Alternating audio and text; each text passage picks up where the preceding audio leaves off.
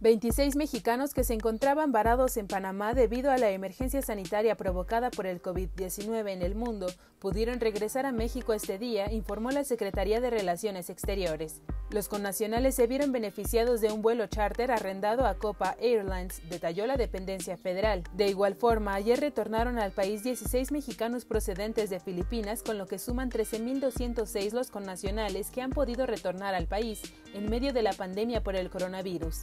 Sin embargo, alrededor de 2.906 mexicanos aún permanecen varados en diversos países del mundo, de los cuales 1.812 están en naciones donde no están permitidos los vuelos comerciales.